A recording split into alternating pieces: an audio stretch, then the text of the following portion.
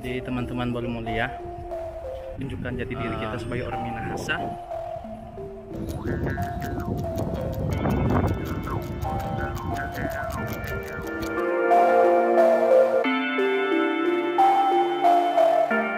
Tidak boleh memanjat atau menaiki bangunan candi.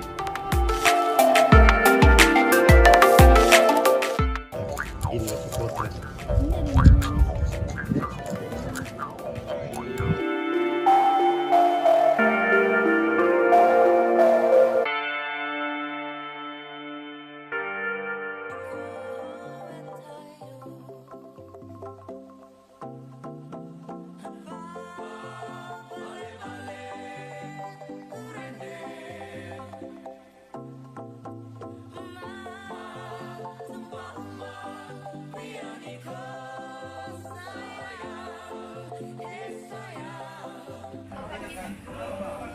Terdewa ya, saya Kerapu Ketuariku Kembali lagi di channel TMI Nahasa Kali ini kita berjalan di Candi Prambanan. Jadi so beberapa hari di Jogja Kali ini kita mempersiar mulia dompet situs bersejarah yang ada di Yogyakarta yaitu Candi Prambanan yang mau tahu kegiatan kita saat ini ikuti terus perjalanan saya. Jadi sebelum orang masuk ke dalam orang bayar tiket sini 50.000 masuk. Jadi kalau teman-teman mau suka pasiar kemari langsung bayar loket 50.000 ya. Jadi orang ada di lokasi ini di kompleks Candi Prambanan.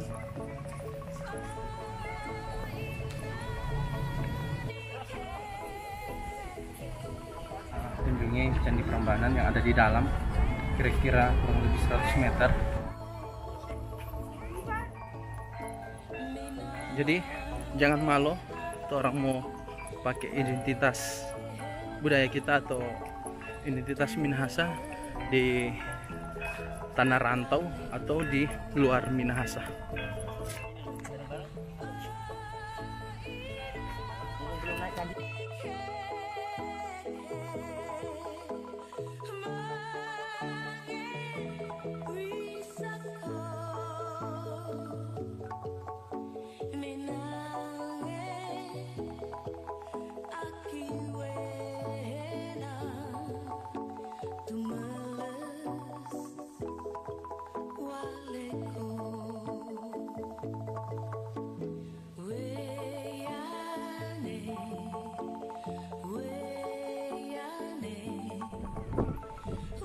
Jadi kita semua masuk di situs bersejarah Candi Prambanan. Tepatnya ada di belakang saya. Di teman-teman boleh mulia, uh, jangan pernah malu untuk tunjukkan jati diri kita sebagai orang Minahasa. Jika kita mau keluar atau merantau, jangan pernah malu.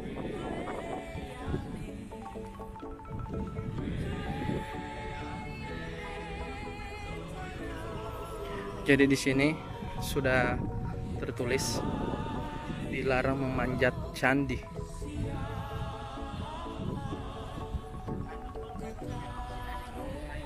Ini sekitar abad ke-9. Jadi di sini ada motif-motif juga. Ada motif-motif yang kita bisa lihat sama di daerah kita juga. Uh, peninggalan-peninggalan leluhur kita. Ada motif-motif. Di sini juga ada di Candi Prambanan kita bisa lihat ini di belakang.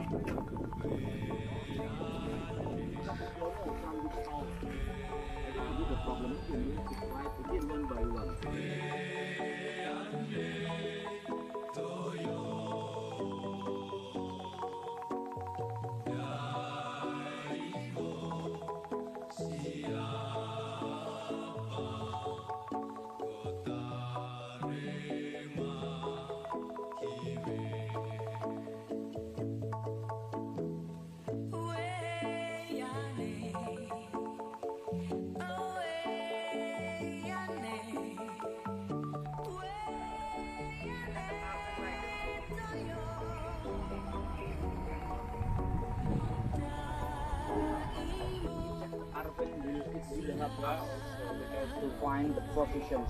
Yeah. And that is the original positions.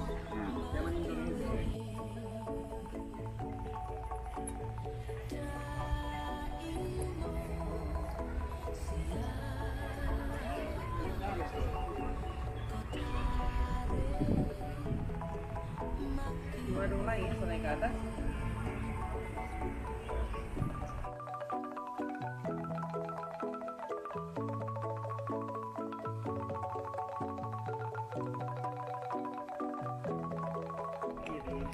Inilah dia.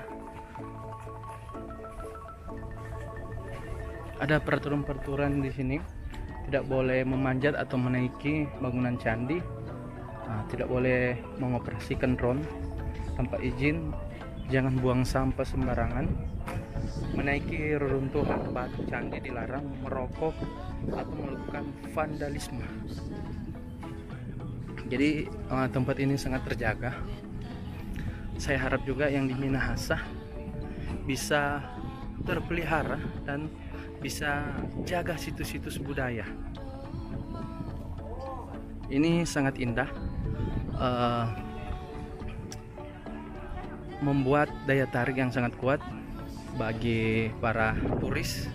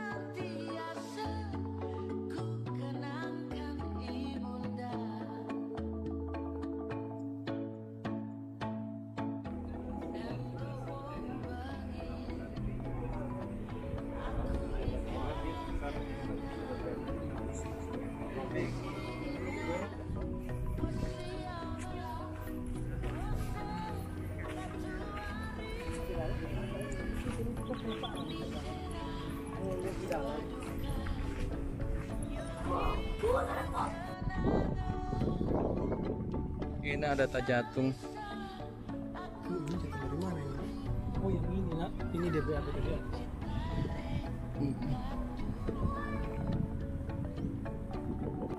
Jadi di sini ada turis-turis yang sangat banyak ya. Eh, Mereka tertarik dengan budaya Indonesia. Jadi mari kita pelihara tinggal tinggal sejarah, budaya, adat istiadat di daerah kita. Khususnya juga di Minahasa juga. Jika kita pelihara bersama banyak juga mendatangkan turis-turis turis lokal dan mancanegara.